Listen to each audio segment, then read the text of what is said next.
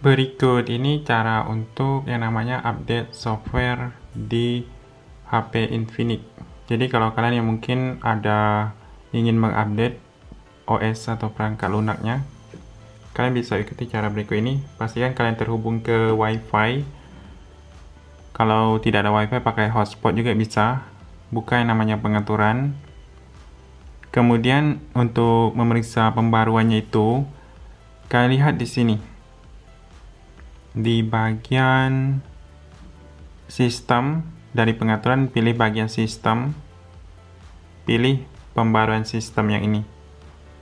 Nah untuk kalian yang ingin memeriksa pilih pembaruan online ini. Nah periksa pembaruan.